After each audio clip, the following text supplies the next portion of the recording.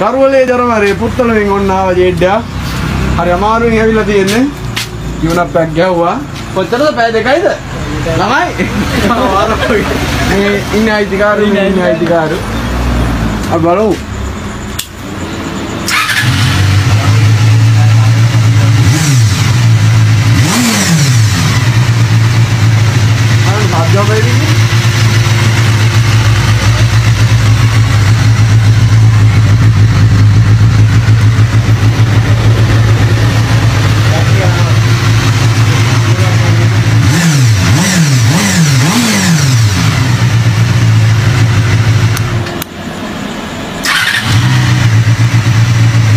වැඩි අපිට කරන්න බෑ.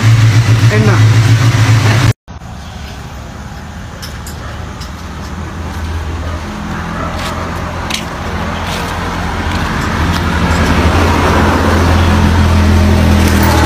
මම මොකුත් කියන්නේ ආ කියලා වැඩක් නැහැ නේද? ඈ? මම මොකුත් කියන්නේ ඔයාලා බලන්න ඉතින්. බලලා තීරණය කරන්න